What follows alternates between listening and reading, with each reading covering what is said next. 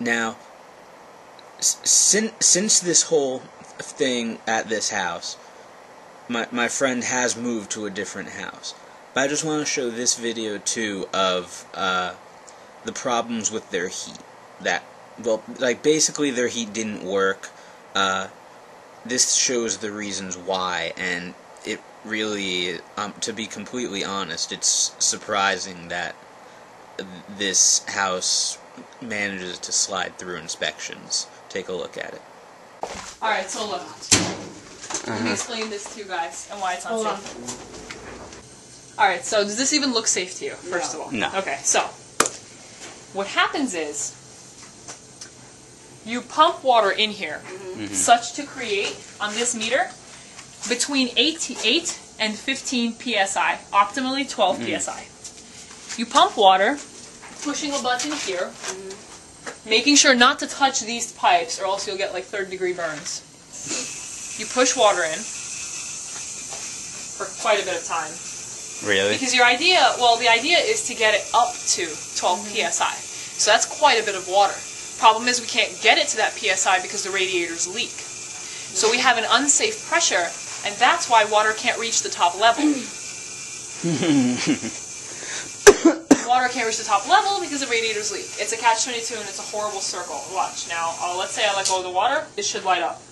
Hopefully we won't light up with it. And if we do, we have this video recording to sue by for our dead bodies. Stop it. Down there, there's a pilot light, and that's never supposed to go out.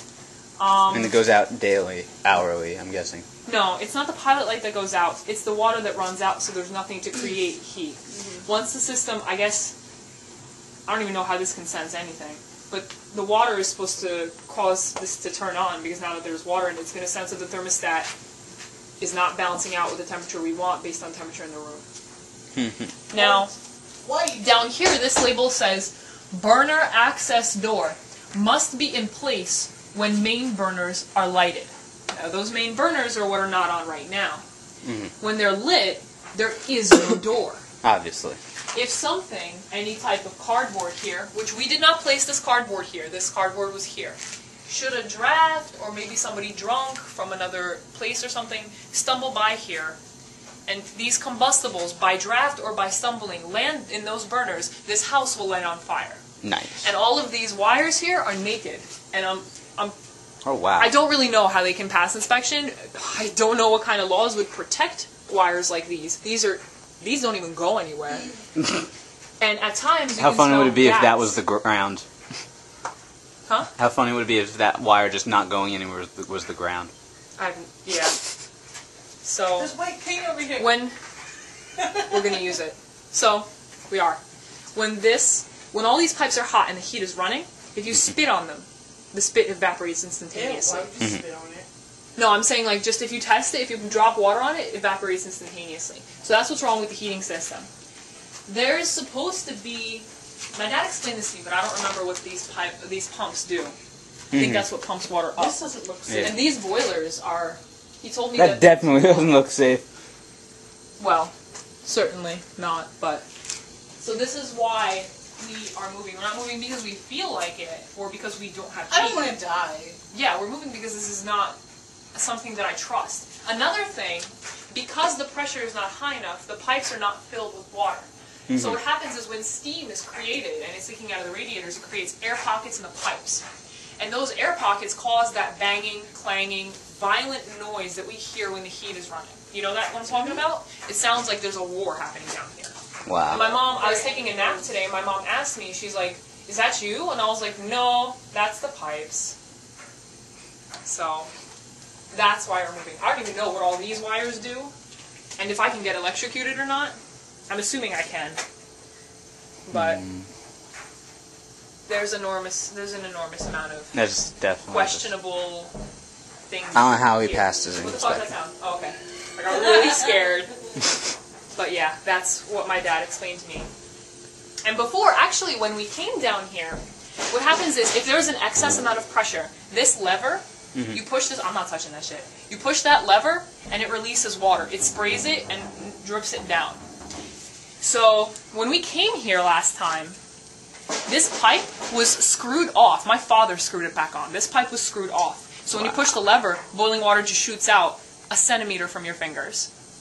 That's ridiculous. Then, if you pump too much water, even though you're trying to get the PSI up, if you pump too much water, it spills out not only from the radiators, but forms a pool of water down here, which at times has been known to extinguish the pilot light. That's what our problem is. And the without the pilot light, you can't relight the heat at all. of course. So that is the That's incredible. And it does smell weird down here. I really hope that that's not anything to do with gas. But my father said that these wires here are supposed to lead to a damper that mixes fresh air with the fumes from the furnace mm-hmm. to to cause uh, to create carbon dioxide instead of carbon monoxide. Because a ham- because a damper isn't attached, at least that's what he told me. Um, there is a risk of carbon monoxide being produced, which is why we're all concerned about making sure that the, the alarms work and such. But that's why we call, you know, that's why whoever it was that called inspection called inspection. Because, yeah, you know, he comes and he turns the heat on, but it's not turning the heat on because that's just curing the symptoms. We don't want the symptoms cured, we want the problem cured, and I don't feel safe living here. Yeah, definitely. And there was something, they came down here last night, and I feel like they did something here. I feel like they connected something here because this didn't look like this before. My father took photos, so we have proof that it didn't look like this before. All right, that's good. But, hmm Thanks, Phil. So, yeah, thankfully, my friends have moved out of that house and they're in a new house now. I haven't seen this new house yet, but I'm sure you could live in a box and it would be better than this, you know?